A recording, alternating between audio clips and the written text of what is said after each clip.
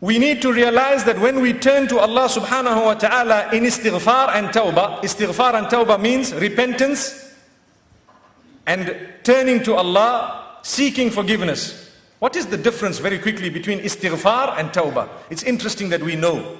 Important.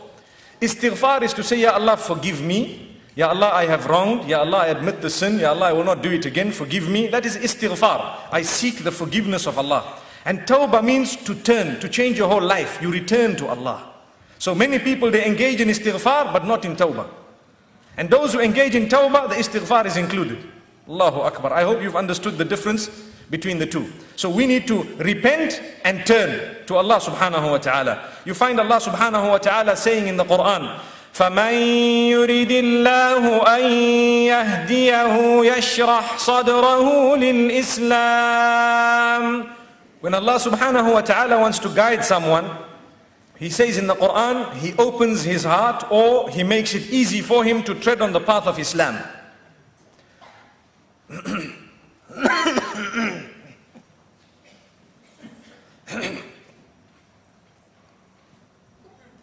no, it's okay.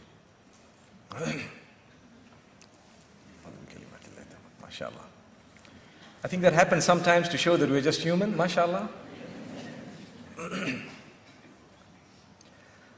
We ask Allah to forgive us. Sometimes it's a sin that we might have committed that results in this, yes. and sometimes we don't even know what it is, but we take it for granted because of our weakness. May Allah subhanahu wa ta'ala grant us steadfastness. May He forgive us and may He grant us a turning point so we turn to Him. Moments ago I said when Allah subhanahu wa ta'ala wants to guide someone, what happens? When Allah has written guidance for someone, He makes it easy for them to tread the path of Islam. So it becomes simple for them to read their salah, to stop lying, to stop deceiving and cheating, to stop backbiting, and to engage, perhaps to dress correctly and so on, becomes simple. And if guidance is not written for someone, or if they are not really keen on being guided, it becomes so tough to do that. It's a big mission. If you look at the globe around us, so many people are engaging in so much ibadah. Why is it that we are missing out? Do you know that Allah subhanahu wa ta'ala has blessed us such that we have to come across people who are more righteous than us in life? What's the reason? One of the reasons is for us to take a page from their lives.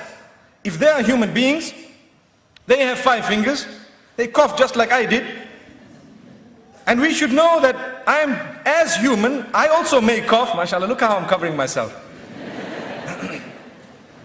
I may also have the same weaknesses that they have. I have the same mind, if I may put it that way. I've been given the eyes or the nose, and everything is quite similar in terms of organs. I've got a brain and so on. Why is it that I find myself right on the other side? This is a question we need to ask ourselves every time we see someone trying to earn the pleasure of Allah subhanahu wa ta'ala. So when Allah wants to guide someone, He opens their doors. He makes it easy for them to tread the path. For this reason, the most important dua you could make or I could make is اهدنا الصراط المستقيم Guide me, Ya Allah, to the straight path.